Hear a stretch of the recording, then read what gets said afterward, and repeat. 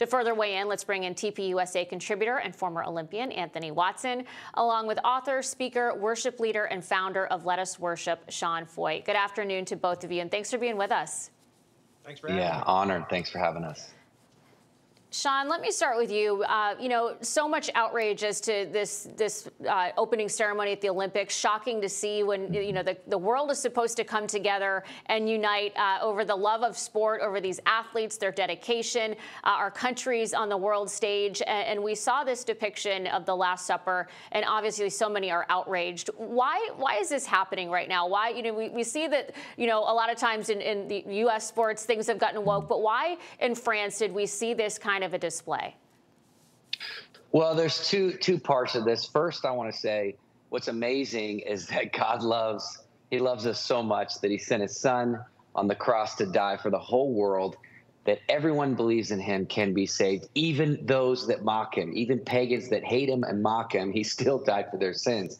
But the second part of this is that it's very revealing, right? These these this Paris ceremony is very revealing. The global leftists are really bigots. They hate Christianity. They don't want peace. They don't want unity, clearly. I think uh, if it was another religion, there would be a lot more outrage. It seems that Christians are, are, really targeted these days. What's your reaction to seeing this, particularly as somebody who is a, has been an Olympic athlete?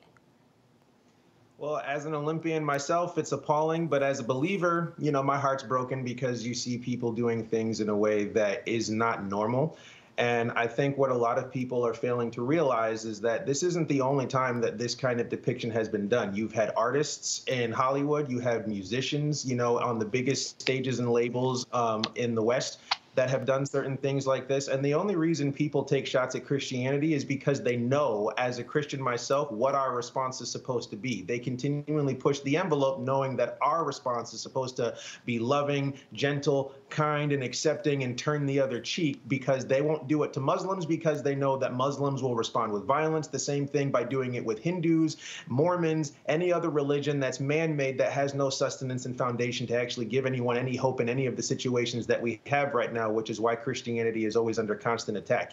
And so to use the opening ceremony of the biggest stage of sports is what the left and what people who don't care about any kind of moral compass do. They use and uh, from Super Bowl halftime shows to concerts all over the place. Whenever there's a mass following of people, they start feeding little nuggets of propaganda until you have all of these things out there because people don't know that Paris was one of the countries that was in favor of having transgender men compete with women. And so now, because the World Athletic Association shut that down, now they're doing this whole display of how, how God is a woman and all these other things to do that. And it's heartbreaking to see because as an Olympian, I was always happy as a teenager and as a young adult growing up that when the Olympics were on for two weeks, there was no talks of war, there was no talks of terrorism, there was no talks of any kind of discrepancies or yeah. disagreements because everyone was cheering for their country. And right now, with a country that's raising people to be ashamed of where they come from, ashamed of their heritage, ashamed of our Judeo Christian foundations and whatnot, it's no surprise that this is happening.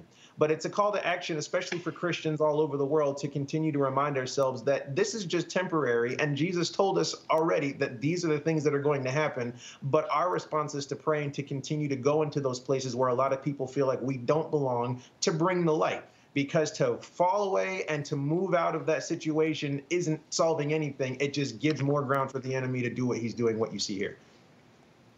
Sean, I know a lot of people are, are saying they're going to boycott the Olympics. They're not watching. Would you say um, yeah. that they should tune out this year? How should people react beyond obviously being vocal uh, about their faith?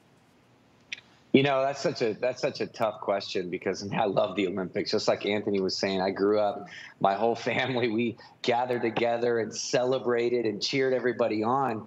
And there's so many incredible Christian athletes that have been preparing their whole life for this moment and they share Bible verses and they give glory to God. So I celebrate them and I want to support those Olympic athletes in this Babylonian system.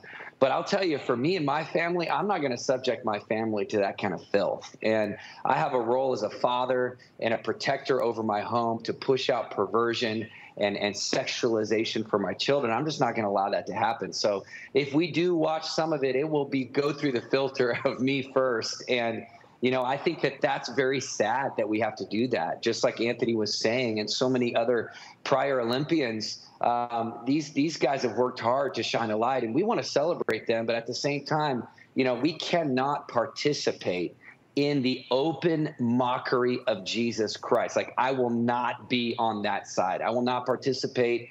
And if boycott is what that comes to, then that's what that comes to. Anthony, you know, I love watching athletes at the podium, and, and oftentimes so many of them look up to the sky. You see them praising God. Um, what would be your message to our athletes right now as, as they've witnessed this opening ceremony? They've poured uh, years and hours in, into their training, and here they are on the world stage. Uh, what would be your message to them? Well, first and foremost, I would agree with Sean in saying that there has to be a filtering system because a lot of people will turn a blind eye to evil in the name of sport. But what I can honestly say from being in that atmosphere myself as an athlete is that you have to know and understand and realize that your life as an athlete is temporary. Your reputation and destination as a believer is permanent. Eternity is coming for everybody, and you have to choose which side of the pendulum you want to be on.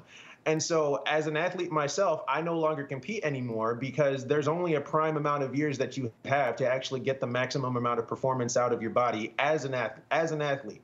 And for the athletes that are there, I tell them, look, an Olympian is what you get to do. Sports are what you get to participate in. It's not who you are because at the end of the day, something that's only a permanent part, uh, a, a temporary part of your permanent story, isn't something that's worth investing your entire identity in. Because then, when it's gone, then what do you have?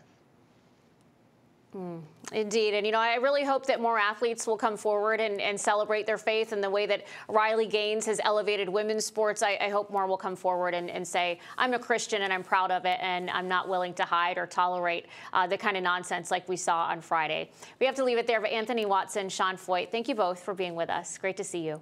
Thank you. Thanks so much. And we have much more ahead on National Desk. Stay with us. We'll be right back.